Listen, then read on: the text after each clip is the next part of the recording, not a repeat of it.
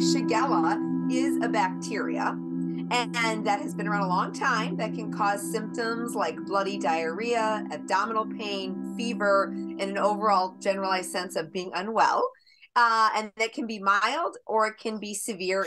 And according to the latest report from the CDC, an extensively resistant form of the bacteria is surging. The infections that are rising are of a variant of Shigella that is harder to treat. Dr. Madeline Gagnon, a pediatrician and the vice chief of staff at Gillette Children's Specialty Healthcare, says the bacteria can spread easily, affecting people of all ages. That can cause symptoms like bloody diarrhea, abdominal pain, fever, and an overall generalized sense of being unwell. The bacteria causes an estimated 450,000 infections in the U.S. each year.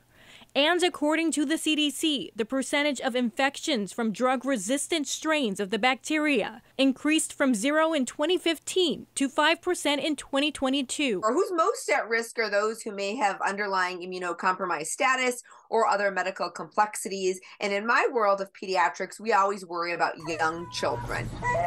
While Dr. Gagnon says this latest rise is uncommon when it comes to staying safe, it's important to know the symptoms and signs of the infection to prevent the spread. Being in the hands of an experienced medical facility and providers who know how to treat this is so important.